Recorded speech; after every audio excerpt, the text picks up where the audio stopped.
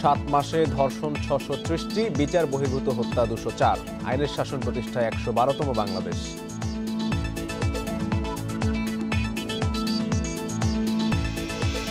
রাজধানীর পঞ্চান্ন পয়েন্টে ওয়াসার বর্জ্য পড়ছে বুড়িগঙ্গায়। দূষণ বন্ধে সময় লাগবে অন্তত দশ বছর।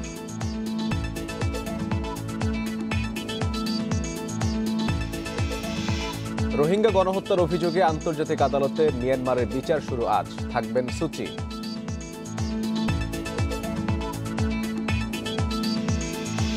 বিরোধী দলের বাধার পরও ভারতের লোকসভায় নাগরিকত্ব সংশোধনী বিল পাশ তীব্র প্রতিক্রিয়া।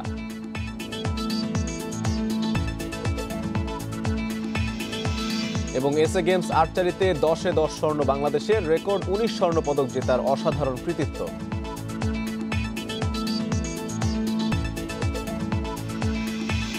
স্বাগত ইন্ডিপেন্ডেন্ট সংবাদে পুরো সংবাদ জুড়ে আপনাদের সঙ্গে থাকছি আমি মিনথাল আহমেদ মাসুম। গত সাত মাসে দেশে ছয় শতাধিক ধর্ষণ ও দুই শতাধিক বিচার বহির্ভূত হত্যার ঘটনা ঘটেছে। সমাজে আইনের শাসন প্রতিষ্ঠার সূচকে বিশ্বের একশো ছাব্বিশ দেশের মধ্যে বাংলাদেশের অবস্থান একশো বারো। এমন বাস্তবতায় পালিত হচ্ছে আন্তর্জাতিক মানবাধিকার দিবস। মানবাধিকার কর্মীদের দাবি, সামাজিক নৃশংসতা বাড়ছে। মানবাধিকার কমিশনের সক্ষমতার অভাবে বিচার পাচ্ছেন না দরিদ্র ভুক্তভোগীরা। সম্প্রতি বরগুনায় স্ত্রীর সামনে রিফাত শরীফকে প্রকাশ্যে কুপিয়ে হত্যার ঘটনায় নাড়া দেয় সবাইকে। ফেনীর মাদ্রাসা ছাত্রী নুসরাত জাহান রাফিকে পুড়িয়ে হত্যা করা হয় নিজ মাদ্রাসায়। এছাড়া সিরাজগঞ্জের শিক্ষার্থী জাকিয়া সুলতানা রূপা, কুমিল্লার সোহাগী জাহান তনু নার্স তানজিনা ও তানিয়াকে হত্যার মতো ঘটনাগুলো নৃশংস ও নির্মমতার চরম নজির সৃষ্টি করেছে। আইন ও সালিশ কেন্দ্রের তথ্যমতে গত সাত মাসে ধর্ষণের ঘটনা ঘটেছে ছয়শো ত্রিশটি আর বিচার বহির্ভূত হত্যার শিকার দুশো জন। মানবাধিকার কমিশন এখনও পর্যন্ত আমরা তাদের যে কার্যক্রম দেখছি, এই কার্যক্রম সন্তোষজনক নয়। বলিষ্ঠতার সঙ্গে দায়িত্ব পালন না করেন, তাহলে এটা যে কোনো একটা সরকারি অফিসের মতনই একটা অফিস হয়ে থাকবে। এর দ্বারা সাধারণ মানুষের দুর্বলের উপকৃত হওয়ার সম্ভাবনা খুব কম। দুই হাজার আট সালে গঠন করা হয় জাতীয় মানবাধিকার কমিশন। উদ্দেশ্য ছিল মানবাধিকার লঙ্ঘনে সার্বক্ষণিক নজরদারি, আইনি সহায়তা প্রদান ও আইনের সংস্কার করে নাগরিক অধিকার প্রতিষ্ঠা।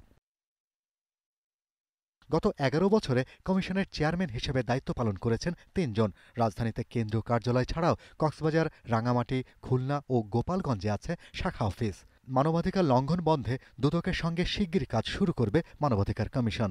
আমি যখন কাজ বাড়াবো, আমি কিন্তু কেন্দ্রে বসেও আমি যদি অনলাইন ম্যানেজমেন্ট করি, আমার আটটা ডিভিশনে আমার শুধু আটটা যদি আমি সাপোর্টিং অফিস রাখি, আমি মনে করি যে অসুবিধা হবে না। কিন্তু সেক্ষেত্রে আমার প্রপার যে লোক, জনবল, সেগুলোকে আমার আগে প্রকিউর করতে হবে। জাতীয় মানবাধিকার কমিশন গত দুই বছরে ভুক্তভোগীদের পক্ষে আদালতে মামলা বা সোমোটো করেছে মাত্র দশটি। Shahriar Anirban, Independent News, Dhaka. আগামীকালকের মধ্যে রুম্পার বায়োলজিক্যাল রিপোর্ট হাতে পেলে জানা যাবে এটি হত্যা না আত্মহত্যা। সোমবার দুপুরে ঢাকা মেডিকেলের ফরেন্সিক বিভাগের প্রধান সোহেল মাহমুদ কথা জানিয়ে আরও বলেন, তার ময়নাতদন্তের প্রাথমিক রিপোর্ট চোদ্দ ডিসেম্বর দেওয়া হবে। এদিকে সোমবারও রুম্পা হত্যার সুষ্ঠু বিচার দাবিতে মানববন্ধন করেছে স্ট্যামফোর্ড বিশ্ববিদ্যালয়ের শিক্ষার্থী ও শিক্ষকরা।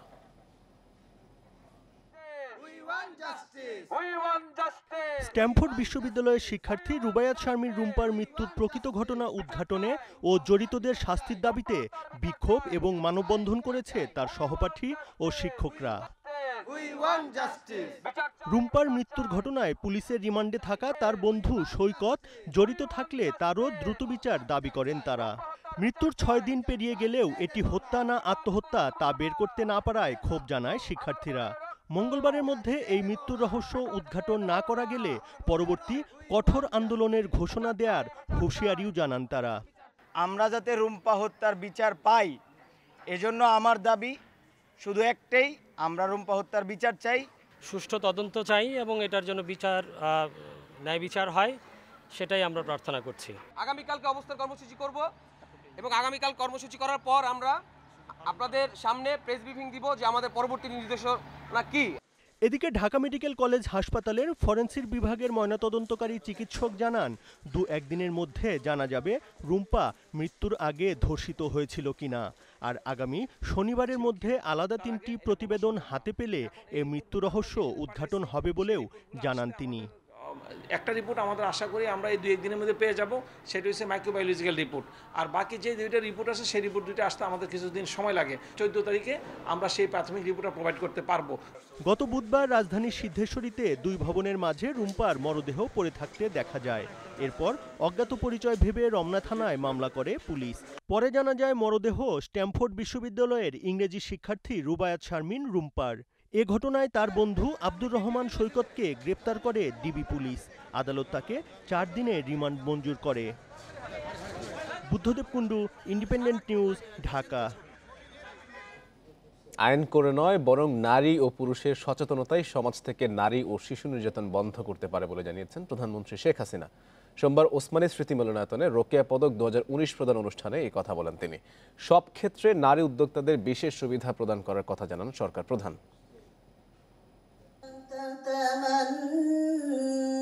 কোনো রাষ্ট্রীয় বা সরকারি অনুষ্ঠানে সাধারণত পুরুষরাই ধর্মগ্রন্থ থেকে পাঠ করেন। তবে এবার রোকিয়া পদক অনুষ্ঠানে দেখা গেল ব্যতিক্রম। নিজ নিজ ধর্মগ্রন্থ থেকে পাঠ করে শোনালেন নারীরা। অনুষ্ঠানের প্রধান অতিথি হয়ে আসা শেখ হাসিনা নজরও এড়ায়নি এ নজিরবিহীন ঘটনা। বেগম রোকেয়া যে স্বপ্ন দেখেছিলেন নারী স্থান সেই নারী স্থানই যেন এটা হয়ে গেছে। হ্যাঁ আমাদের পুরুষরাও আছে আমরা তাদেরকে অস্বীকার করি না। তবে আজকের হলটা দেখে মনে হচ্ছে যেটা সত্যি বলতে গেলে নারীদেরই যে মানে একটা আলাদা জায়গা আছে সেটা এটা প্রমাণিত। সমাজে শিশু ও নারীদের উপর অত্যাচার নির্যাতন সামাজিক ব্যাধির মতো ছড়িয়ে পড়েছে বলে মন্তব্য করেন প্রধানমন্ত্রী। যে শিশু নারীদের উপর অত- অত্যাচার নির্যাতন এটা একটা মানসিক ব্যাধির মতো সমাজে ছড়িয়ে গেছে। এখানে আমাদের যা উচিত, এটা আমি তো বললাম শুধু আমাদের দেশে না এটা কিন্তু বিদেশেও এটা ব্যাপকভাবে এই ধরনের নির্যাতনের শিকার হয় মেয়েরা বিশেষ করে নারী শিশুরা।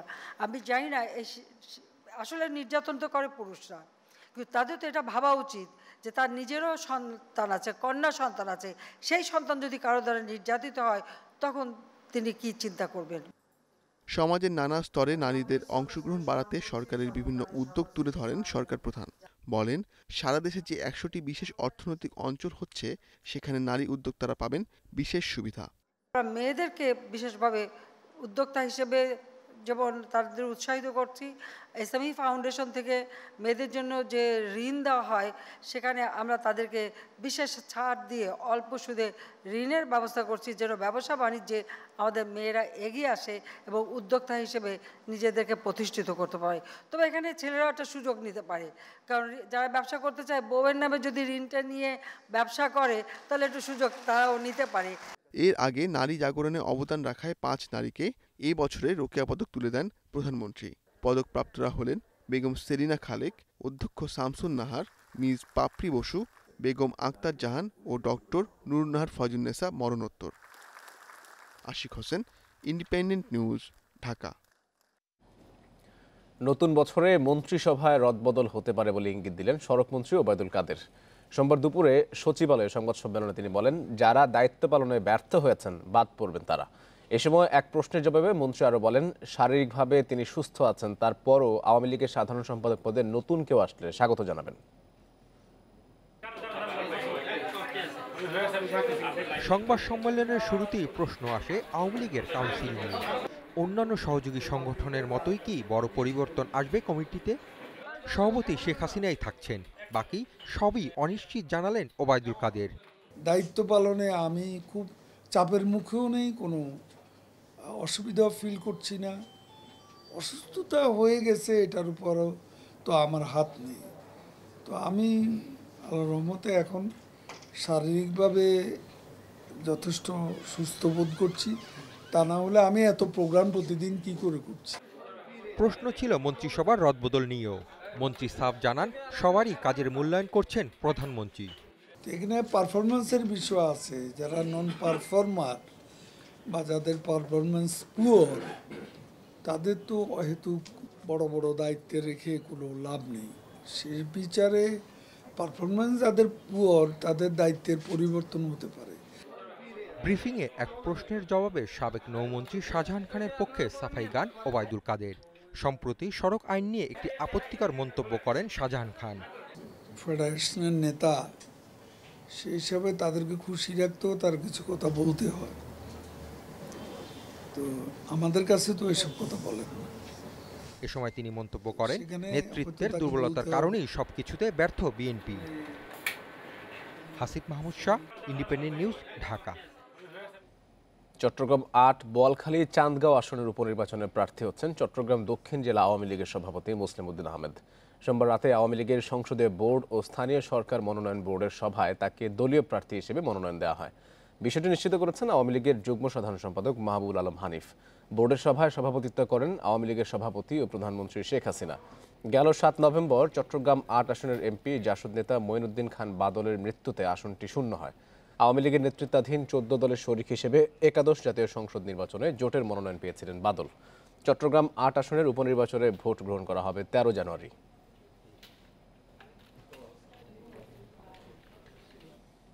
রাষ্ট্রপতি আব্দুল হামিদ বলেছেন, শিক্ষাঙ্গনে ছাত্ররা আসে লেখাপড়া করতে, মরতে নয়। ঢাকা বিশ্ববিদ্যালয়ের সমাবর্তনে কয়েকটি ক্যাম্পাসে সম্প্রতি ঘটে যাওয়া বিশৃঙ্খল পরিস্থিতি প্রসঙ্গে তিনি এসব কথা বলেন। এ সময় ডাকসু নেতাদের কর্মকাণ্ড নিয়েও ক্ষোভ জানান রাষ্ট্রপতি। এছাড়া পাবলিক বিশ্ববিদ্যালয়ে সান্ধ্যকালীন কোর্স বন্ধের তাগিদ দেন তিনি। কেন্দ্রীয় খেলার মাঠে ঢাকা বিশ্ববিদ্যালয়ের বাহান্নতম সমাবর্তনে যোগ দেন রাষ্ট্রপতি ও আচার্য মোহাম্মদ আব্দুল হামিদ। সমাবর্তনে অংশ নেওয়া প্রায় একুশ হাজার গ্র্যাজুয়েটকে অভিনন্দন জানান তিনি। এ সময় বিশ্ববিদ্যালয়ের শিক্ষার মান ও পরিবেশ বজায় রাখার আহ্বান জানান রাষ্ট্রপতি। বিশ্ববিদ্যালয়ের শিক্ষার পরিবেশের পাশাপাশি সার্বিক পরিবেশ বিঘ্নিত হচ্ছে। অনেক পাবলিক বিশ্ববিদ্যালয় এখন দিনে সরকারি আর রাতে বেসরকারি চরিত্র ধারণ করে। বিশ্ববিদ্যালয় কিংবা সন্ধ্যায় মেলায় পরিণত হয়। এটা কোনোভাবেই কাম্য হতে পারে না। আবার কিছু সংখ্যক শিক্ষক যারা নিয়মিত কোর্সের ব্যাপারে অনেকটা উদাসীন। কিন্তু evening course diploma course private বিশ্ববিদ্যালয়ে ক্লাস নেওয়ার ব্যাপারে তারা খুবই সিরিয়াস সম্প্রতি বিভিন্ন বিশ্ববিদ্যালয়ে ঘটে যাওয়া অনাকাঙ্ক্ষিত ঘটনার কথা উল্লেখ করে এসব বন্ধে কর্তৃপক্ষকে সঠিক পদক্ষেপ নেওয়ার নির্দেশ দেন রাষ্ট্রপতি। ছাত্রছাত্রীরা লেখাপড়ে জ্ঞান অর্জনের জন্য বিশ্ববিদ্যালয়ে ভর্তি হয় লাশ হয়ে বা বহিষ্কৃত হয়ে বাড়ি ফিরে যাওয়ার জন্য নয়। কর্তৃপক্ষ সময় মতো সঠিক পদক্ষেপ নিলে এসব অপ্রত্যাশিত ঘটনা অনেকাংশে রোধ করা সম্ভব হতো। ভবিষ্যতে ডাকসু নির্বাচনে অপ্রীতিকর ঘটনা যেন না ঘটে সেজন্য সবাইকে হুঁশিয়ার করেন তিনি। এই নির্বাচনের সময় কিছু কিছু কথা বা অপ্রীতিকর ঘটনার কথা শুনেছি। আমি আশা করব ভবিষ্যতে যখন আবার এই ডাক্তার নির্বাচন হবে তখন যাতে করে আরও সুন্দর আরও সুষ্ঠুভাবে এই ডাকসু নির্বাচন অনুষ্ঠিত হয়। এই- দাবিগুলি তো ছাত্র নেতৃবৃন্দের, ডাকসু তাদেরকে করা উচিত। তারা তো এবার কোনো কথা বলে না, বরং তাদের ব্যাপারে অন্য এমন সব কথা শুনি, যেগুলি আমার ভালো লাগে না। এ সময় মেয়াদুত্তীর্ণ ভেজাল ওষুধের বিরুদ্ধে রুখে দাঁড়াতে ছাত্র সমাজের প্রতি আহ্বান জানান রাষ্ট্রপতি। অনিমেষ কর ইন্ডিপেন্ডেন্ট নিউজ ঢাকা। বুড়িগঙ্গায় ওয়াসার পয় দূষণ বন্ধে সময় লাগবে আর অন্তত দশ বছর। রাজধানীর চারপাশে পাঁচটি পয়েন্টে পরিশোধনাগার নির্মাণ কাজ শেষ না হওয়া পর্যন্ত দূষণ নিয়ন্ত্রণ সম্ভব নয়। ওয়াসা বলছে যে সোয়ারেজ লাইন নির্মাণে নেওয়া হয়েছে মাস্টার প্ল্যান আর বিআইডব্লিউটিএ বলছে রাজধানীর পঞ্চান্নটি পয়েন্টে ওয়াসার আটষট্টিটি সোয়ারেজ লাইন দিয়ে সরাসরি বর্জ্য পড়ছে নদীতে। উচ্চ আদালতের নির্দেশনা অনুযায়ী সাত জানুয়ারির মধ্যে বন্ধ করতে হবে এসব পাইপের মুখ। বাবুবাজার ব্রিজের নিচ দিয়ে বিশাল এই ওয়াসার পয়নালা হয়ে বুড়িগঙ্গায় পড়ছে রাজধানীর নাগরিক বর্জ্য। নৌপথে চরকালীগঞ্জ, মিলব্যারাক, গোসাইবাড়ি, পোস্তগোলা, কদমতলী, শ্যামপুরের দিকে এগোলেও চোখে পড়বে একই দৃশ্য। বিআইডব্লিউটি এর জরিপ বলছে, সদরঘাট, লালবাগ, ওয়াইজঘাট বাবুবাজার, কেরানীগঞ্জ, কামরাঙ্গীরচর ও লালকুঠির পঞ্চান্নটি পয়েন্ট দিয়ে ওয়াসার আটষট্টিটি সোয়ারেজ লাইনে তরল শিল্প বর্জ্য মিশছে পানিতে। শুধুমাত্র আদালত আদেশ দেবে কেন? আমাদের একটা নৈতিক দায়িত্ব আছে না? আপনি ঢাকা, ওয়াসা কীভাবে এরকম সলিড আপনার পোশাক পায়খানাগুলো আপনার সরাসরি নদীতে ফেলছে? এটা এই এই আবার এই নদীর পানেই আবার পরিশোধন করে আবার আমরা খাচ্ছি। ওনারা যেদিন আমাদেরকে সময় দিয়ে আসবেন সেই দিনই আমাদের তাদের আমরা সরজমিনে গিয়ে তাদের বর্জ্যমুখের উপস্থিতিগুলো আমরা তাদের দেখিয়ে দিব। রাজধানীতে ওয়াসার পয়ঃনিষ্কাশন লাইন আছে নয়শো তিরিশ কিলোমিটার। এসবের কোনোটির মুখ বা আউটলেটই বুড়িগঙ্গা বা প্রাকৃতিক জলাধারে পড়ার কথা নয়। বারবার জানানোর পরও কার্যকর কোনো পদক্ষেপ নিচ্ছে না ওয়াসা। তাই বুড়িগঙ্গা দূষণে তাদের সরাসরি দায়ী করেছে উচ্চ আদালত। জাস্টিস শামসুদ্দিন চৌধুরী সাহেব রায় দিয়ে বলেছিলেন যে বুড়িগঙ্গায় ওয়াসা বা অন্য যে কোনো প্রতিষ্ঠানের যে সোয়ারেজ লাইনগুলো আছে সরাসরি বর্জ্য বুড়িগঙ্গায় পড়ে সেগুলোকে সিল করার জন্য বলেছিল। কারণ বুড়িগঙ্গার পানি দূষণের অন্যতম কারণ ছিল এটি। জবাবে ওয়াসা জানাচ্ছে মাস্টার প্ল্যান অনুযায়ী উত্তরা মিরপুর রায়েরবাজার দাসেরকান্দি পাগলায় নির্মাণ হবে পাঁচটি পয়ঃশোধনাগার পুরো প্রকল্প শেষ হবে দুই সাল নাগাদ। হান্ড্রেড পার্সেন্ট সোয়ারেজ পাইপলাইন সিস্টেমে আনব। দুই হাজার তিরিশ, দুই হাজার পঞ্চাশ, দুই হাজার ষাট পর্যন্ত আমরা একটা রূপরেখা দিয়ে রেখেছি। তো আপাতত আমাদের কাজ হলো দু হাজার তিরিশেরটা ইমপ্লিমেন্ট করা। এই পাঁচটা সোয়ার ট্রিটমেন্ট প্ল্যান উইথ নেটওয়ার্ক হয়ে গেলে ঢাকা শহর একশত ভাগ পাইপলাইন সোয়ারেজ সিস্টেমের মধ্যে আসবে। অর্থাৎ এই সোয়ার কালেকশন হবে। এদিকে বুড়িগঙ্গার দুই পাশের পাইপলাইন বন্ধে কী পদক্ষেপ নেওয়া হয়েছে তা জানিয়ে সাত জানুয়ারি উচ্চ আদালতে প্রতিবেদন দেবে BIWTA Shahriar Anirban Independent News Dhaka. অবৈধ দখল, তদারকির অভাব আর বর্জ্য অব্যবস্থাপনার কারণে দেশের বেশিরভাগ নদ নদী মারাত্মক দূষণের শিকার। এ নিয়ে আরও জানাতে সুনামগঞ্জ ও ফেনী থেকে যোগ দিয়েছেন সহকর্মীরা। শুরুতে আমরা সুনামগঞ্জে যাব সহকর্মী জাকির হোসেনের কাছে। জাকির, সুনামগঞ্জের নদ নদীগুলোতে দূষণের মাত্রা কেমন দেখছেন এবং এই দূষণের মাত্রা কমাতে কর্তৃপক্ষের কোনো উদ্যোগ কি আপনার চোখে পড়েছে? দেখুন, সুনামগঞ্জের দেশের সর্ববৃহৎ নদী নদী সেই সুরমা নদীর যে তীরবর্তী এলাকাগুলো রয়েছে এবং সুনামগঞ্জের ছাতক উপজেলার বিভিন্ন কলকারখানা রয়েছে। এইসব যে, এইসব নদ নদীর যে বা এইসব যে এলাকার যে কলকারখানা এবং আবাসিক এলাকার এবং এছাড়াও যে বাণিজ্যিক এলাকাগুলো রয়েছে, নদীর তীরে না বাণিজ্যিক এলাকার যে যত বজ্র রয়েছে, সেই সব, বজ্র কিন্তু সুনামগঞ্জের সুরমা নদীতে ফেলা হয়, যার ফলে কিন্তু এই নদীর যে পরিবেশ এবং নদীর পানি দূষণ হচ্ছে, যার ফলে কিন্তু এখানে একটা মারাত্মক সমস্যা দেখা দিয়েছে। আর এই বিষয়ে আসলে আমরা কোনো আসলে দৃশ্যমান কোনো পদক্ষেপ আমরা এখন পর্যন্ত আমাদের চোখে পড়েনি। আমরা দেখেছি বিভিন্ন পরিবেশবিদরা রয়েছে, তারা বছরে একবার বা দুইবার তারা বিভিন্ন নদী রক্ষা নামে বা বিভিন্ন নদী দূষণের ব্যাপারে তারা কাজ করে। কিন্তু আসলে প্রকৃত অর্থে আসলে যারা যে বিভিন্ন কলকারখানা এবং আবাসিক এলাকা এবং আহ, বাণিজ্যিক এলাকাগুলো থেকে যে বর্জ্য ফেলা হয় বিষয়ে আসলে কোনো দৃশ্যমান আজ পর্যন্ত আমরা কোনো কার্যক্রম আমাদের চোখে পড়েনি। আপনাকে আরেকটা বিষয় আমি বলে রাখি নদীর সাথে সাথে সুনামগঞ্জ কিন্তু হাওর অধ্যুষিত একটা জেলা। আপনি জানেন সুনামগঞ্জের টাঙ্গুয়ার হাওর রয়েছে বৃহৎ, হাওর কিন্তু একটা রামসার সাইট দেশের দ্বিতীয় বৃহত্তম রামসার সাইট হিসেবে খ্যাত। এই রামসার সাইট যে পানি দূষিত হচ্ছে এখানে কিন্তু সবচেয়ে বড় সমস্যা হচ্ছে। এখানের যে এই পানি দূষিত হওয়ার কারণে কিন্তু ওই যে টাঙ্গুয়ার হাওরের যে পরিবেশ এবং প্রতিবেশ সেটা কিন্তু একেবারেই নষ্ট হয়ে গেছে বলা যায়। কারণ এখানে আপনার যে টাঙ্গুয়ার হাওরের যে চারপাশে গ্রাম রয়েছে এবং এখানে আপনি জানেন এখানে বছরের প্রায় ছয় মাসে কিন্তু পর্যটকরা আনাগোনা থাকে। পর্যটকরা কিন্তু বিভিন্ন বজ্র ফেলার পরে কিন্তু এই হাওরের যে সৌন্দর্য এবং জীববৈচিত্র্য নষ্ট হচ্ছে। এই টাঙ্গর হাওরের বিশেষ করে রামসার সার হিসেবে খ্যাত, কিন্তু এখানে কিন্তু একটা নির্দিষ্ট একটা মানে গণ্ডির মধ্যেই আসলে থাকার কথা। কিন্তু আসলে এখানে গণ্ডি পেরিয়েই কিন্তু আমরা দেখেছি মানুষ কিন্তু বজ্র ফেলা হচ্ছে যার ফলে কিন্তু এই টাঙ্গুয়ার হাওরের পরিবেশ এবং প্রতিবেশ নষ্ট হচ্ছে। এ ব্যাপারে আমি কথা বলেছিলাম জেলা প্রশাসক মোহাম্মদ আব্দুল্লাহদের সাথে। তো বিশেষ করে তিনি টাঙ্গুয়ার হাওরের যে প্রতিবেশ এবং যুক্ত হওয়ার জন্য ধন্যবাদ। আপনি আমাদের সঙ্গে থাকবেন। আমরা একটু ফেনীতে যেতে চাই। এখন সহকর্মী সমীর উদ্দিনের কাছে। সমীর আপনার কাছে জানতে চাই যে ফেনীর নদীগুলোর কি পরিমাণ অংশ অবৈধ দখল করা হয়েছে এবং দখল মুক্ত করতে প্রশাসনের কোনো উদ্যোগ কি আপনি দেখেছেন যে দেখুন আপনি যেটি বলছিলেন আমরা আমরা এখানে যে নদী দূষণের ফলে প্রাকৃতিক যে বিপর্যয়ের একটা ঘটনা ঘটছে এখানে আসলে এ, নদীর খাল এখানে বেশ কিছু খাল রয়েছে। আপনি জানেন যে ফেনী হচ্ছে একদম বঙ্গোপসাগরের কাছাকাছি একটি জায়গা। সেখানে আপনার ছোট ফেনী নদী ফেনী এবং সিলোনিয়া মুহুরী কহুয়া এইভাবে করে চার পাঁচটি নদী রয়েছে। এই চার পাঁচটি নদী এইতে কি- এ হচ্ছে কি ফেনীর যে সমস্ত শহরের যে বর্জ্যগুলো রয়েছে সুয়ারাজের যে পানিগুলো রয়েছে সেগুলো এখানে পাগলিছড়া খাল নামে খ্যাত। সেই খাল দিয়ে দূষিত পানিগুলো নদীতে পড়ার ফলে নদীর পানি দূষিত হচ্ছে। আর এখানে যেই নদীর যে চারপাশে যে সমস্ত অবৈধ দখল, সেগুলো উচ্ছেদের ব্যাপারে বা দখল থেকে মুক্ত করার ব্যাপারে তেমন কোনো উদ্যোগ আমাদের চোখে পড়েনি। আমরা এখানে আর একটা বিষয় আপনাকে বলে রাখি যে, নদী দূষণের যে সমস্ত বিষয়গুলো চোখে পড়ে সেগুলো হচ্ছে আমরা ফেনী, পানি উন্নয়ন বোর্ডের নির্বাহী প্রকৌশল মোহাম্মদ জহিরুদ্দিনের সাথে কথা বলেছিলাম। তিনি আমাদেরকে জানিয়েছেন যে ফেনীর বেশ কিছু জায়গায় এবং বিশেষ করে সোনাগাজীর খালপাড়ে বেশ কিছু পোল্ট্রি শিল্প গড়ে উঠেছে। এই পোল্ট্রির যে বর্জ্যগুলো রয়েছে, বর্জ্যগুলো খালের মধ্যে পড়ে খালের পানি দূষিত হয়ে এই পানিগুলো চলে যাচ্ছে হচ্ছে ফেনী, ছোট ফেনী নদী সিলোনিয়া, মুহুরি এবং কহুরা।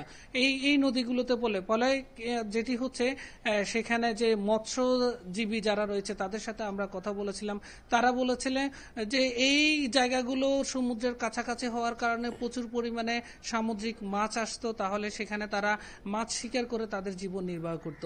এখন এই দূষিত পানির ফলে অনেকাংশেই এখন আর সেই রকম মাছ পাওয়া যাচ্ছে না, ফলে তারা তাদের যে পেশা এটিকে পরিবর্তন করতে বাধ্য হচ্ছে। আপনি জানেন যে ফেনীর আরও একটি সবচেয়ে বড় বাংলাদেশের অন্যতম বৃহত্তম যে মুহুরী সেচ রেগুলেটর প্রকল্প রয়েছে, এটি আসলে মূলত করা হয়েছিল এখানকার পঁচিশ হাজার হেক্টর জমিতে কৃষি জমি আবাদ করার জন্য। বাট এই নদীর দূষণের ফলে কৃষি জমিতে মারাত্মকভাবে ক্ষতি হওয়ার কারণে এখন আর সেরকমভাবে কৃষি উৎপাদন করা হচ্ছে না। কৃষকরা তাদের ধান গোলায় তুলতে পারছে না বলে আমাদেরকে সেটি জানিয়েছিলেন। এই ছিল এখানকার আমার কাছে সর্বশেষ অবস্থা। সুনামগঞ্জ ফেনীর নদ নদীগুলোর দূষণের মাত্রা জানছিলাম আমাদের সহকর্মীদের কাছ থেকে। রোহিঙ্গা গণহত্যার অভিযোগে মিয়ানমারের বিচার শুরু হচ্ছে আজ। দুপুরে নেদারল্যান্ডসের হেইগে আন্তর্জাতিক আদালতে প্রথম শুনানি হবে। গাম্বিয়ার করা মামলায় আদালতে হাজির হচ্ছেন মিয়ানমারের নেত্রী অং সান সুচি পর্যবেক্ষণ করবেন বাংলাদেশের প্রতিনিধিরাও। পররাষ্ট্রমন্ত্রী বললেন যে মিয়ানমারকে জবাবদিহিতার আওতায় আনা হলে রোহিঙ্গা প্রত্যাবাসন দ্রুত শুরু করা সম্ভব। টানা তিন দিন বিশ্বের নজর থাকবে নেদারল্যান্ডসের হেগে কারণ সেখানকার পিস প্যালেসে শুরু হচ্ছে মিয়ানমারের রোহিঙ্গা গণহত্যা মামলার শুনানি। প্রথম দিন বক্তব্য রাখবে মামলার বাদী গাম্বিয়া। অংশ নিচ্ছেন দেশটির অ্যাটর্নি জেনারেল ও আইনমন্ত্রী আবু বক্কর মারি তাম্বাদু। শুনানিতে মিয়ানমারের পক্ষে থাকছেন দেশটির স্টেট কাউন্সিলর অং সান সুচি তারা বক্তব্য রাখবে এগারো ডিসেম্বর। দুপক্ষই সময় পাবে তিন ঘণ্টা করে। দু দেশের পাশাপাশি বাংলাদেশ ও কানাডার প্রতিনিধিরাও থাকছেন পিস প্যালেসে। সবাই সমর্থন করবে না, কিন্তু যারা সমর্থন করতে রাজি আছে, তারা যেন জোরালোভাবে সমর্থন করে এবং বিষয়টা যে ঘটেছে এবং একটা যে অত্যন্ত অন্যায় এখানে তাদের উপর সংঘটিত হয়েছে, সেটাকে কিন্তু অবিরাম যেন এটা যেন দৃশ্যমান থাকে এবং এটা নিয়ে যেন পৃথিবীর সবাই কনসার্ন থাকে, সেটা দেখতে হবে। এরই মধ্যে আদালতের কাছে বেশ কিছু আবেদন জানিয়েছে গাম্বিয়া। শুনানি চলাকালে রোহিঙ্গা নির্যাতন, তাদের ঘরবাড়ি ও সম্পদ ধ্বংস বন্ধ রাখার নিশ্চয়তা চাওয়া হয়েছে। রোহিঙ্গা গণহত্যা থেকে মিয়ানমার সেনাবাহিনীকে নিবৃত রাখা এবং গণহত্যার আলামত নষ্ট না করার দাবি করা হয়েছে। আদালত এসব ব্যবস্থা নেয়ার নির্দেশনা দিলে বাংলাদেশে আশ্রিত রোহিঙ্গা ফিরে যেতে উৎসাহ পাবে বলে মনে করছেন পররাষ্ট্রমন্ত্রী। রোহিঙ্গাদের বলতে পারব যে দেখো কোর্ট তোমাদের ওখানে প্রোটেকশন দেওয়ার জন্য মায়ানমার আর মায়ানমার সরকার নিশ্চয়ই অঙ্গীকার করবে যে হ্যাঁ আমরা প্রোটেকশন দেব। তো কারণ ওরা যাচ্ছে না ভয়ে। বেসিক্যালি ওদের বিশ্বাস হয় না মায়ানমার সরকারকে। তো এখন মায়ানমার সরকার না সরকারের সাথে সরকারও বলছে এবং বিশ্ব আদালত সেটাও বলছে ওখানে তোমার যাওয়ার একটা সুযোগ হলো। সাধারণত এ ধরনের মামলার রায় দিতে কয়েক বছর সময় নেয় আইসিজে। তবে অন্তর্বর্তীকালীন ব্যবস্থা নিতে নির্দেশনা দিতে সময় নেয় কয়েক সপ্তাহ। এক্ষেত্রে আদালতের রায় চূড়ান্ত। আপিলের কোনো সুযোগ নেই। কিন্তু নির্দেশনা মানতে রাষ্ট্রকে বাধ্য করার ক্ষমতা নেই এই আদালতের। Nafizadullah Independent News, Dhaka. উত্তরাঞ্চল সহ দেশের বিভিন্ন জেলায় বাড়ছে শীতের প্রকোপ। তাপমাত্রা কমে যাওয়া ও ঘন কুয়াশায় লালমনিরহাট পঞ্চগড় সহ কয়েকটি জেলায় প্রায় দুপুর পর্যন্ত সূর্যের দেখা মিলছে না। শীত বস্ত্রের অভাবে চরম দুর্ভোগে পড়েছেন চরাঞ্চল ও দরিদ্র খেটে খাওয়া মানুষ। হিমালয়ের কাছাকাছি সীমান্তবর্তী জেলা লালমনিরহাটে ক্রমেই বাড়ছে শীতের প্রকোপ। গত কয়েকদিন ধরে তীব্র শীতে কাহিল জনজীবন। সকাল দশটা পর্যন্ত দেখা মিলছে না সূর্যের। বেশি ভোগান্তিতে পড়েছেন নিম্ন আয়ের খেটে খাওয়া শ্রমজীবী মানুষেরা। সকালে আর পাই না ঠান্ডা বিছনাতেও ঠান্ডা খুব। শীতের জ্বালা ঠান্ডা কুয়াশার জ্বালায় আমরা কাজ বিছনা থেকে উঠতে পারি না কাজ করতে পারি না। দেশের সর্ব উত্তরের জেলা পঞ্চগড়ের তেঁতুলিয়ায় ক্রমেই জেকে বসছে শীত। সন্ধ্যার পর থেকে কুয়াশা আর হিমেল বাতাসে বাড়ে শীতের তীব্রতা। প্রতিদিন ওই এলাকার তাপমাত্রা আট থেকে দশ ডিগ্রিতে ওঠানামা করছে। খড়কুটো জ্বালিয়ে শীত নিবারণের চেষ্টা করছেন অনেকে। ডিসেম্বর মাসে এক থেকে দুইটি শৈত্যপ্রবাহ বয়ে যেতে পারে। তারই মধ্যে মৃদু শৈত্যপ্রবাহ আট থেকে দশ ডিগ্রি সেলসিয়াস এবং মাঝারি শৈত্যপ্রবাহ ছয় থেকে আট ডিগ্রি সেলসিয়াস। মেহেরপুরে বিকেলের পর থেকে অনুভূত হয় ঠান্ডা। তারপরও শীত উপেক্ষা করেই কাজের সন্ধানে ছুটছেন নিম্ন আয়ের মানুষ। পাবনায় দিনের বেলা ঠান্ডা কম অনুভূত হলেও সন্ধ্যা থেকে সকাল পর্যন্ত ঘন কুয়াশায় আচ্ছন্ন থাকে চারপাশ। এবার তো প্রচুর আকারে শীত। বাচ্চা কাচ্চা তো আমরা খুব শীতে কষ্ট করি। শীতের জন্য আমার আর খেতা নাই কম্বল নাই আমরা এই যে আগুন পোয়াচ্ছি বসে বসে। নীলফামারীতেও রাত থেকে পরদিন সকাল পর্যন্ত ঘন কুয়াশায় যানবাহনের স্বাভাবিক চলাচলে বিঘ্ন ঘটছে। শীতে কষ্ট পাচ্ছে শিশু ও বৃদ্ধরা। দেশের মধ্যাঞ্চল ফরিদপুরেও বেড়েছে শীতের তীব্রতা। হাসপাতালগুলোতে বাড়ছে ঠান্ডাজনিত রোগে আক্রান্তের সংখ্যা। এসব রোগ থেকে সুরক্ষায় শিশুদের প্রতি বাড়তি যত্ন নেয়ার পরামর্শ চিকিৎসকের। সর্দি কাশি নিউমোনিয়া ডায়রিয়া এইগুলির প্রকোপই বেশি। আগের চেয়ে রোগীর সংখ্যা কিছুটা বেড়েছে হাসপাতাল এবং অন্যান্য কেন্দ্রগুলোতে। মানিকগঞ্জে দিনে হালকা গরম থাকলেও রাতে বাড়ছে শীত। ঘন কুয়াশায় দুর্ঘটনা এড়াতে মহাসড়কে যানবাহনগুলোকে চলতে হচ্ছে ফগ লাইট জ্বালিয়ে। Shahnaz Parvin Independent News desk. এ নিয়ে আরও খবর জানাতে এবার নীলফামারী থেকে যোগ দিয়েছেন সহকর্মী জসিম উদ্দিন। জসিম আমরা সংবাদে দেখছিলাম যে উত্তরাঞ্চল সহ দেশের বিভিন্ন জায়গাতে কিন্তু শীতের প্রকোপ বেড়েছে যার ফলে মূলত সমস্যায় পড়েছেন দরিদ্র খেটে খাওয়া মানুষরা। তো আপনার কাছে জানতে চাই যে নীলফামারীতে এই দরিদ্র জনগোষ্ঠীর জন্য শীত বস্ত্র সরবরাহের কোনো উদ্যোগ প্রশাসনের পক্ষ থেকে নেওয়া হয়েছে কিনা এবং শীতকালীন বিভিন্ন রোগের প্রকোপের কথা আমরা শুনছিলাম সংবাদে, তো সেটি সেখানে কি অবস্থা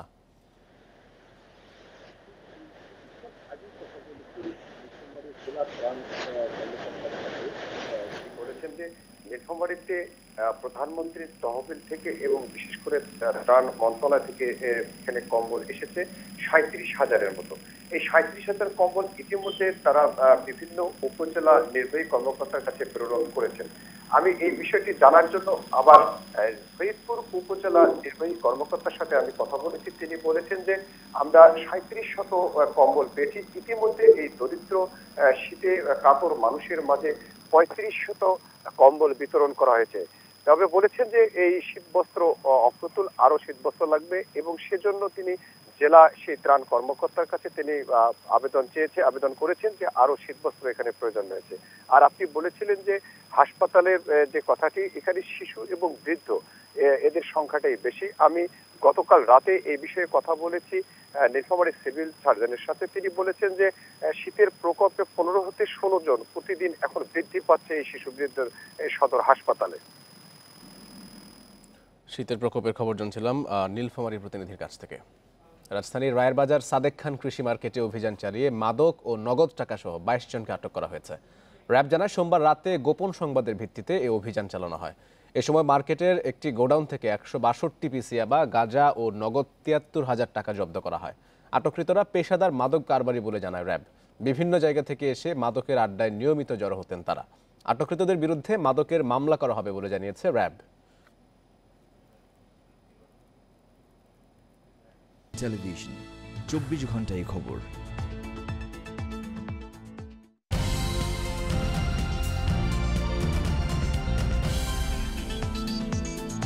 বরিশালের বানারীপাড়ায় প্রবাসীর বাড়িতে তিন খুনের ঘটনায় পুলিশের দাবি মানছে না পরিবারটি। গ্রেফতার গৃহকর্ত্রী মিশরাত জাহান মিশুর স্বামীর দাবি, তার স্ত্রীকে ফাঁসানো হচ্ছে। নিন্দা জানিয়েছে নারী সংগঠনগুলো। এদিকে সোমবার মিশুকে তিন দিনের রিমান্ডে নিয়েছে আদালত। বানারীপাড়ায় কুয়েত প্রবাসী হাফেজ আব্দুর রবের বাড়িতে শনিবার উদ্ধার হয় তার তিন স্বজনের মরদেহ। পরে এই ঘটনায় নির্মাণ শ্রমিক জাকির হোসেন ও জুয়েল হাওলাদারকে গ্রেপ্তার করে পুলিশ। খুনের দায় স্বীকার করে আদালতে জবানবন্দি দেন তারা। স্বীকারোক্তিতে নাম আসার পর গ্রেপ্তার করা হয় গৃহকর্ত্রী মিশরাত জাহান মিশুকে। সোমবার তাকে আদালতে তোলার পর তিন দিনের রিমান্ডে নেয় পুলিশ। তবে মিশুর বিরুদ্ধে এমন অভিযোগের কারণ খুঁজে পাচ্ছেন না তার পরিবারের সদস্যরা। তাকে ফাঁসানো হচ্ছে বলে অভিযোগ মিশুর স্বামী হাফিজ আব্দুর রবের। এই ধরনের আমার ওয়াইফ যে কাজ করতে পারে আমার কোনো বিশ্বাস নাই এবং আমার সাথে আগের দিনও বিকালবেলা কথা হয়েছে। সবসময় আমার ওয়াইফের সাথে আমার সাথে কথা হয়। ই হয় এই ধরনের কোনো জিনিস আমি আমার ওয়াইফের আমি দেখি নাই। মিশুকে গ্রেপ্তার ও রিমান্ডে নেওয়ার নিন্দা জানিয়েছে মহিলা পরিষদ। সংগঠনটির নেতারা বলছেন অপরাধীদের বক্তব্যের ভিত্তিতে কোনো নারীকে হয়রানির যুক্তি দেখছেন না তারা। আসামি ক্রিমিনালদের কথার উপর ভিত্তি করে একজন শিশু সন্তানদের ঘরে রেখে একজন মাকে এভাবে গ্রেপ্তার করে তাকে কোর্টে চালান দেয়া তার তার ব্যাপারে আইনি প্রক্রিয়া শুরু করার আগে অবশ্যই প্রশাসনের এ ব্যাপারে সুষ্ঠু এবং নিরপেক্ষ তদন্তের প্রয়োজন ছিল। তবে পুলিশ বলছে পর্যাপ্ত তথ্য প্রমাণের ভিত্তিতেই তাকে গ্রেপ্তার করা হয়েছে। তথ্যের ভিত্তিতে আমরা প্রাথমিকভাবে যে মহিলার একটা সংশ্লিষ্টতা আমরা তার জানতে পারি এবং এ ব্যাপারে আমাদের যথেষ্ট তথ্য প্রমাণও আছে। এই তথ্য প্রমাণ এবং এদের দেওয়া তথ্য মতেই আমরা মহিলাকে গ্রেপ্তার দেখেছি এই মামলায়। পুলিশ জানিয়েছে মামলাটির বিষয়ে সব তথ্য যাচাই বাছাই করেই এগোচ্ছেন তারা। ইন্ডিপেন্ডেন্ট নিউজ ডেস্ক জাতীয় ভ্যাট দিবস আজ। দিবসটি উপলক্ষে সাত দিনব্যাপী নানা কর্মসূচি গ্রহণ করেছে জাতীয় রাজস্ব বোর্ড, এনবিআর। এছাড়া পনেরো ডিসেম্বর পর্যন্ত পালিত হবে জাতীয় ভ্যাট সপ্তাহ। এবারের ভ্যাট দিবসের স্লোগান, ভ্যাট দিচ্ছে জনগণ, দেশের হচ্ছে উন্নয়ন। দিবসটি উপলক্ষে সকাল সাড়ে সাতটার দিকে রাজস্ব ভবনের সামনে থেকে বর্ণাঢ্য শোভাযাত্রা হওয়ার কথা রয়েছে। এছাড়া বিকেলে বঙ্গবন্ধু সম্মেলন কেন্দ্রের সেমিনার ও সবচেয়ে বেশি ভ্যাট প্রদানকারীদের সম্মাননা দেওয়া হবে। রোববার ভ্যাট দিবস নিয়ে সংবাদ সম্মেলনে এনবিআর চেয়ারম্যান জানিয়েছেন, জুলাই থেকে অক্টোবর পর্যন্ত চার মাসে রাজস্ব আহরণ হয়েছে পঁয়ষট্টি হাজার ছিয়ানব্বই কোটি টাকা যা লক্ষ্যমাত্রার চেয়ে বিশ হাজার কোটি টাকা কম। তবে গত বছরের একই সময়ের তুলনায় সাড়ে চার শতাংশ বেশি।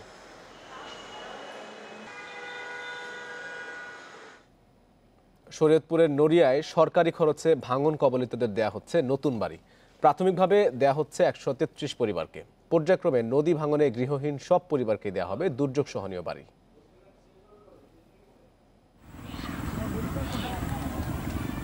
গত বছর পদ্মার ভাঙনে ভিটামাটি হারিয়ে নিঃস্ব নড়িয়ার কেদারপুরের রাজিয়া বেগম। অন্যের জমিতে পরিবার পরিজন নিয়ে আশ্রয় নিতে হয়েছিল তাকে। গৃহহারা রাজিয়াকে সরকারি খরচে নির্মাণ করে দেয়া হয়েছে এই পাকা বাড়ি। দুর্যোগ সহনীয় বাড়িটি নতুন করে বাঁচার স্বপ্ন দেখাচ্ছে রাজিয়াকে। আমার ঘর টিনের ঘর ছিল টিনের ঘর ছিল তো যত বানাইলো একটু সমস্যা হয়েছে বাতাস বাতাস চালিয়ে ঘর পুরে ভয় থাকে। হ্যাঁ থেকে অন্ত পাকা করে ঘর দিছে বিল্ডিং করছে। নালে দিলে আমরা বালিয়ে থাকতেছি। শুধু রাজিয়াই নয়, গত বছর নদী ভাঙনে গৃহহীন হয় নড়িয়ার অন্তত সাড়ে ছয় হাজার পরিবার। অসহায় এসব মানুষের পাশে দাঁড়িয়েছে দুর্যোগ ব্যবস্থাপনা ও ত্রাণ মন্ত্রণালয়। এরই মধ্যে গৃহহীন তেতাল্লিশটি পরিবারকে বুঝিয়ে দেওয়া হয়েছে আলাদা রান্নাঘর টয়লেট সহ দুটি রুমের টিন শেডের পাকা বাড়ি। গোসলখানা পাকঘর সব কিছু নিয়েই দিছে।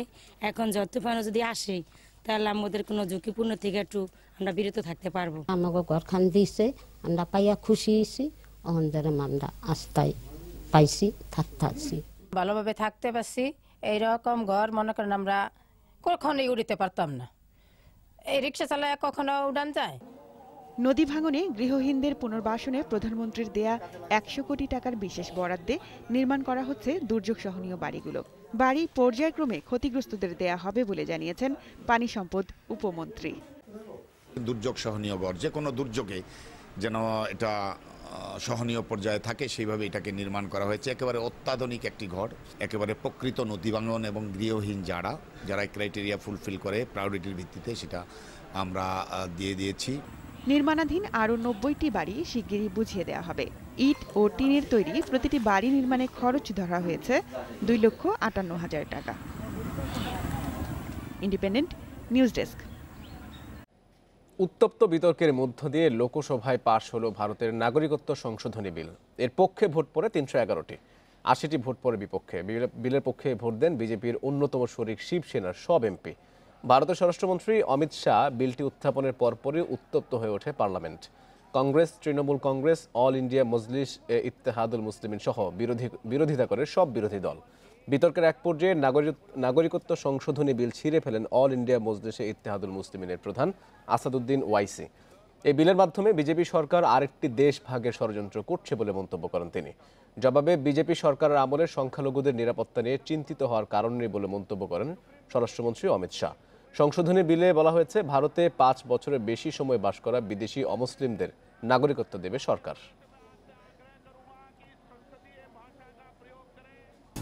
এসএ গেমস আর্চারির দশ ইভেন্টের স্বর্ণ জয়ের কীর্তি করেছে বাংলাদেশ। ছটি দলীয় স্বর্ণের পর ব্যক্তিগত চার বিভাগ, বিভাগের চারটিতেও শ্রেষ্ঠত্ব লাল সবুজের। কম্পাউন্ড ও রিকার্ভ ইভেন্টের এককে নারী ও পুরুষ দুই বিভাগে চার স্বর্ণ জিতেছেন আর্চাররা। এ পর্যন্ত উনিশটি স্বর্ণপদক জিতে এবার আসরে অনন্য কৃতিত্ব দেখিয়েছেন বাংলাদেশের খেলোয়াড়রা। একটি ডিসিপ্লিনের সবকটি ইভেন্টেই স্বর্ণ জয়ের অনন্য রেকর্ড গড়েছে বাংলাদেশ। আর্চারিতে দশে দশ লাল সবুজ। বিজয়ের এই উল্লাসে তাই হাসি কান্না মিলেমিশে একাকার। আর্চারির সোনালী ফ্রেমে অমলিন হয়ে থাকবে দৃশ্যগুলো। এই ছবিগুলো।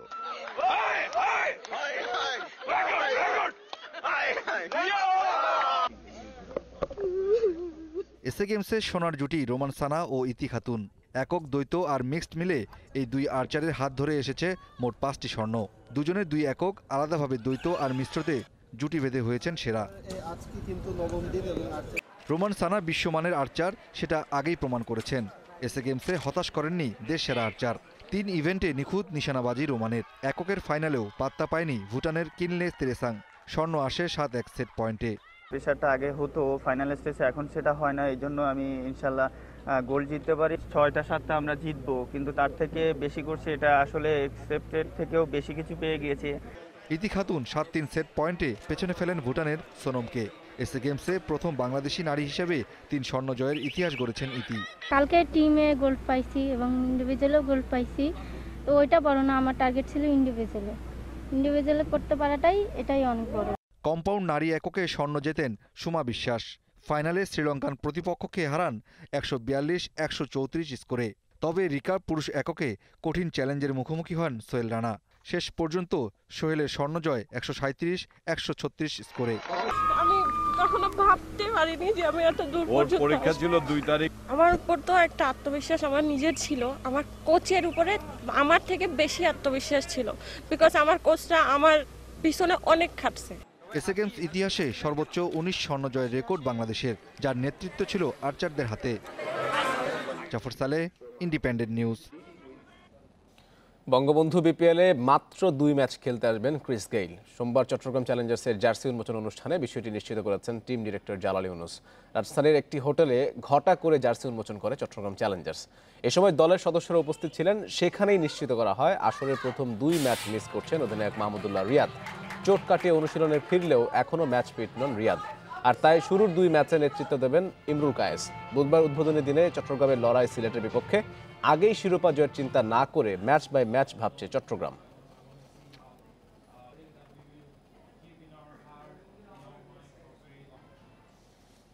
সর্বস্তরের মানুষের শ্রদ্ধা নিবেদনের জন্য ঢাকা বিশ্ববিদ্যালয়ের পদার্থ বিজ্ঞানের সাবেক অধ্যাপক, মুক্তিযোদ্ধা অজয় রায়ের মরদেহ আজ নেওয়া হবে কেন্দ্রীয় শহীদ মিনারে। বেলা এগারোটা থেকে এক ঘণ্টা সেখানে রাখা হবে মরদেহ। অজয় রায়ের মৃত্যুতে শোক জানিয়েছেন রাষ্ট্রপতি ও প্রধানমন্ত্রী। পঁচিশ নভেম্বর বারডেম হাসপাতালে ভর্তি হন অধ্যাপক অজয় রায়। ফুসফুসের সংক্রমণের পাশাপাশি বার্ধক্যজনিত জটিলতায় ভুগছিলেন তিনি। শ্বাসকষ্ট বাড়লে কৃত্রিম শ্বাস দেওয়া হচ্ছিল তাকে। চিকিৎসাধীন অবস্থায় সোমবার দুপুরে মৃত্যু হয় অজয় রায়ের। বয়স হয়েছিল তিরাশি বছর। অজয় রায়ের ছেলে অনুজিত রায় জানান, মঙ্গলবার সকালে মরদেহ নেওয়া হবে বেলি রোডের বাসায়। এরপর শ্রদ্ধা নিবেদনের জন্য বেলা এগারোটা থেকে এক ঘণ্টা রাখা হবে কেন্দ্রীয় শহীদ মিনারে। পরে অজয় রায়ের শেষ ইচ্ছা অনুযায়ী মরদেহ বারডেম হাসপাতালকে দান করা হবে। মার ডেড বডিও আমরা অন্য হসপিটালে দিয়েছি এই হসপিটালে না। বলল যে তোমরা কাছাকাছি কোনো একটা হসপিটালে আমার দেহ ওনার ইচ্ছা পূরণের জন্যই আমরা বারডেম হসপিটালকে হসপিটালে আমি ওনার পক্ষ হয়ে ডেড বডি ডোনেট করে দিয়েছি। খ্যাতিমান পদার্থবিজ্ঞানী অজয় রায় একাত্তরের মুক্তিযুদ্ধ এবং যুদ্ধোত্তর বাংলাদেশের প্রায় সব গণতান্ত্রিক ও নাগরিক আন্দোলনে ছিলেন সামনের কাতারে। শিক্ষা আন্দোলন মঞ্চের প্রতিষ্ঠাতা তিনি। ঘাতক দালাল নির্মূল কমিটির প্রতিষ্ঠাতাদেরও একজন। অজয় রায় দুই সালে জঙ্গি হামলায় খুন হওয়া মুক্তমনা লেখক অভিজিৎ রায়ের বাবা। ছেলে হত্যার বিচার শেষ হওয়ার আগেই চলে গেলেন না ফেরার দেশে। অভিজিতের হত্যাকাণ্ডের পর তিনি স্বাভাবিকভাবেই খুব ভেঙে পড়েছিলেন, কিন্তু বাইরে তিনি সেটা প্রকাশ করতেন না। তার মামলার যে সাক্ষী, সেখানে তিনি নিয়মিত কোর্টে হাজির হয়েছেন। এবং এইটা তার জন্য তো অত্যন্ত একটা বড় রকমের আঘাত ছিল। অজয় রায়ের জন্ম উনিশশো সালে দিনাজপুরে। উনিশশো সালে ঢাকা বিশ্ববিদ্যালয়ের পদার্থবিদ্যা বিভাগে যোগ দেন তিনি। দুই হাজার বারো সালে একুশে পদক অর্জন করেন অজয় রায়। সুমায়া হক ইন্ডিপেন্ডেন্ট নিউজ শেষ করব এখনকার সংবাদ তার আগে শিরোনামগুলো জানাব আরেকবার। সাত মাসে ধর্ষণ ছশো ত্রিশটি। বিচার বহির্ভূত হত্যা দুশো চার। আইনের শাসন প্রতিষ্ঠায় একশো বারোতম বাংলাদেশ। রাজধানীর পঞ্চান্ন পয়েন্টে ওয়াসার বর্জ্য পড়ছে বুড়িগঙ্গায়। দূষণ বন্ধে সময় লাগবে অন্তত দশ বছর।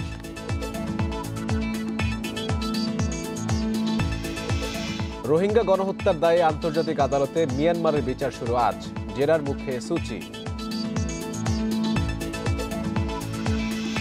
বিরোধী দলের বাধার পরেও ভারতের লোকসভায় নাগরিকত্ব সংশোধনী বিল পাশ। তীব্র প্রতিক্রিয়া। এবং এসএ গেমস আর্চারিতে দশে দশ স্বর্ণ বাংলাদেশের রেকর্ড উনিশ স্বর্ণ পদক জেতার অসাধারণ কৃতিত্ব। এই ছিল এখনকার সংবাদ আয়োজনে। ইন্ডিপেন্ডেন্ট টেলিভিশনের সব খবর আরও বিস্তারিত জানতে চোখ রাখুন ফেসবুক, ইউটিউব এবং টুইটারে।